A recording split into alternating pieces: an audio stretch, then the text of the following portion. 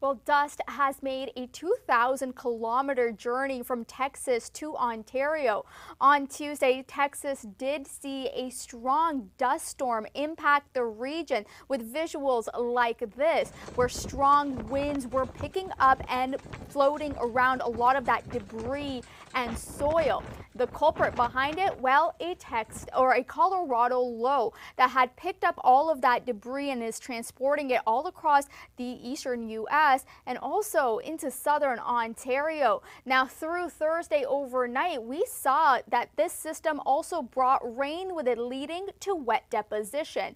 Wet deposition leads to impacts like this on your car where all of that dirt and soil ends up being impacted and depositing onto the surface of vehicles. So this is one of those days you're going to have to take your car into a car wash. Now we'll continue to see some of that light rain through the day on Thursday before it finally moves on out.